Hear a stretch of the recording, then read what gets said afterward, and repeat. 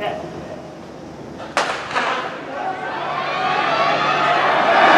決勝第1組です。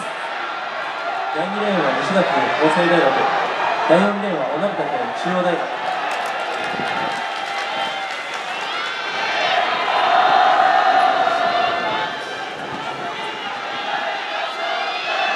ただいまのレース追い風1.1メートルでした。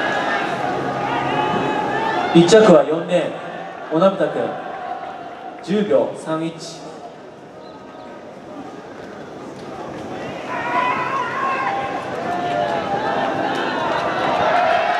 クリーンにはただいま行われました。男子 100m 競争準決勝第1組の速報が出ております。第1着は小名田君中央大学。10秒31 2着